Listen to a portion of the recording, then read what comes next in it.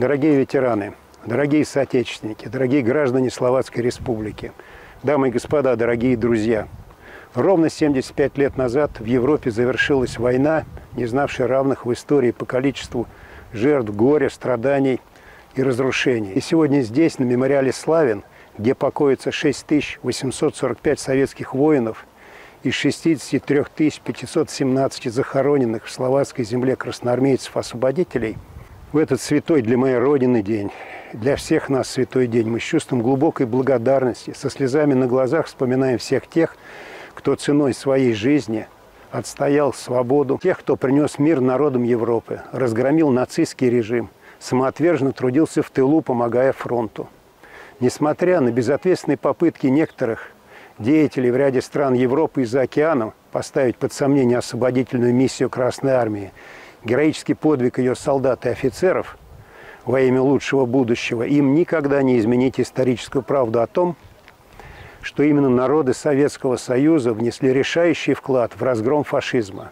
В этой борьбе плечом к плечу наши солдаты вместе со словацкими патриотами, участниками словацкого национального восстания, партизанами, бойцами первого чехословацкого армейского корпуса освобождали Словакию от гитлеровцев – это братство по оружию мы никогда не забудем.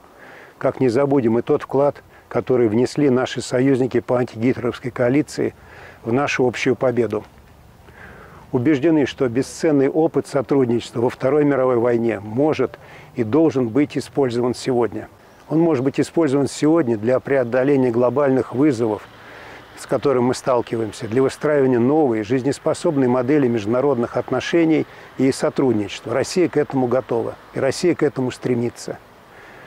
А в этот знаменательный день мне хотелось бы также высказать слова глубокой благодарности руководству Словакии, местным властям, Словацкому союзу борцов-антифашистов, всему словацкому народу за подчеркнуто уважительное отношение к памяти своих освободителей – за бережную заботу о местах их захоронений, мемориалах и памятниках воинов Красной Армии, сохранение единой для наших народов, для наших стран правды о Второй мировой войне.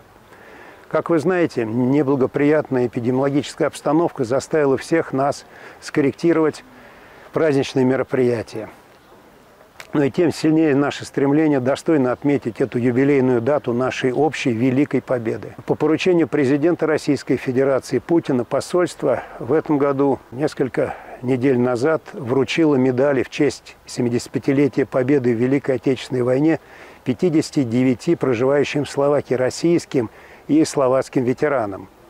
Мы также приняли участие в целом ряде торжественных мероприятий – которые были посвящены освобождению городов и сел Словакии от фашизма.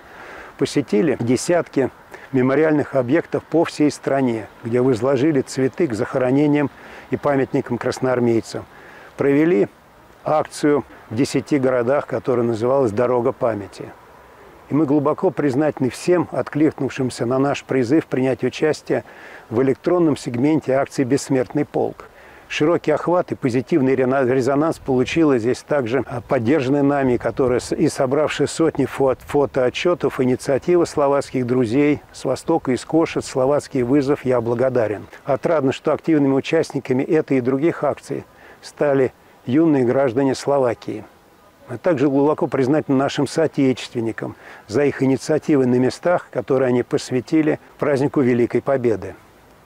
И еще раз хотел бы обратиться к тем, кто пережил ужасы той войны, тем, кто сохранил человеческое достоинство, верность своей родине, кто боролся с врагом, ко всем ветеранам. Ваш подвиг бессмертен. Мы навсегда в неоплатном долгу перед вами. Низкий вам поклон в этот памятный день. Желаю вам здоровья, благополучия, долгих-долгих лет жизни.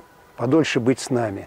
А всем нам, ныне живущим, я пожелал бы быть достойными памяти тех, кто своей борьбой и своими жизнями завоевал для нас свободу и мирную жизнь. С праздником вас, с Днем Великой Победы!